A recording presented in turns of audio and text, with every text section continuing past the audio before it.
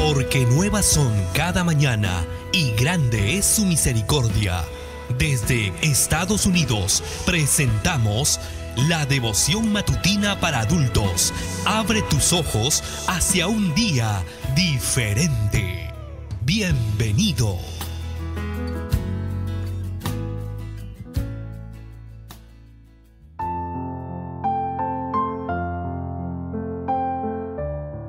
Feliz y maravilloso sábado para ti. Gracias por la sintonía. Que Dios pueda bendecirte abundantemente.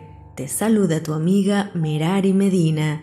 El devocional para el día de hoy se titula Servidores y Administradores.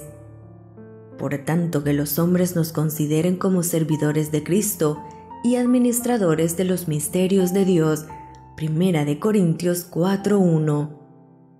En el capítulo 4 de Primera de Corintios tenemos tres secciones. En la primera, Pablo se dirige a los pastores, a los predicadores y a los que son responsables del ministerio del Evangelio. Ellos no debían ser líderes de facciones, de partidos en conflicto. Cristo dio a sus obreros la responsabilidad de compartir su palabra con el mundo. No se les permite predicar y enseñar opiniones y creencias humanas, sino que son responsables de presentar el mensaje puro de la salvación no adulterado. En la segunda sección, Pablo recuerda a los predicadores del Evangelio que pueden sufrir mucho, pero deben sobrellevarlo con valor. Ante la mentira deben bendecir, ante la persecución deben soportar y ante las peleas deben buscar reconciliación.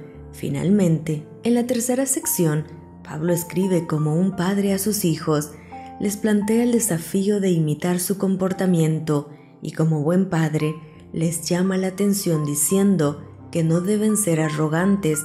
Aquellos que toman en serio el Evangelio de Jesucristo son llamados a ser ejemplos como servidores. Es necesario enseñar, hablar y orientar, pero también es muy necesario mostrar en nuestra vida el poder del Evangelio a través del ejemplo. Hablar es fácil, pero dar ejemplo es actuar de una manera que los demás pueden imitar. Un ejemplo es la persona digna de ser imitada por sus buenas cualidades. Por ejemplo, es la expresión que se usa para presentar un caso concreto de lo que estamos explicando y tomar ejemplo es actuar o comportarse siguiendo el modelo de otra persona. En el texto, Pablo menciona a los servidores. Originalmente se designaba con ese término a los remeros de las galeras de guerra para distinguirlos de los soldados que peleaban en cubierta. Después comenzó a usarse para cualquier subordinado que hacía trabajos pesados o los ordenanzas que servían al comandante. Por eso, Pablo cree que estos servidores son los ordenanzas del gran comandante en jefe, Jesús, siendo así los representantes oficiales humanos de Cristo y los funcionarios regios de su reino. Por su parte, los administradores son los mayordomos. Los griegos aplicaban esta palabra a los esclavos o los libertos, a quienes se les confiaba el cuidado y el manejo de la casa, y la tierra pertenecientes a su amo. Señor, ayúdanos a ser fieles servidores y administradores de tu iglesia, buscando salvar pecadores, porque la Biblia no manda a los pecadores a buscar a la iglesia, sino que manda a la iglesia a que busque a los pecadores. Te envío con mucho cariño fuertes abrazos tototes y lluvia de bendiciones.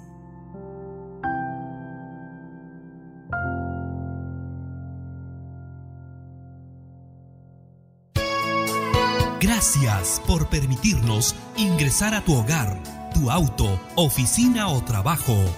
Devoción matutina para adultos. Volveremos pronto para seguir conociendo más bendiciones para tu vida. Esta fue una presentación de Canaan Seven Day Adventist Church y DR Ministries. Hasta la próxima.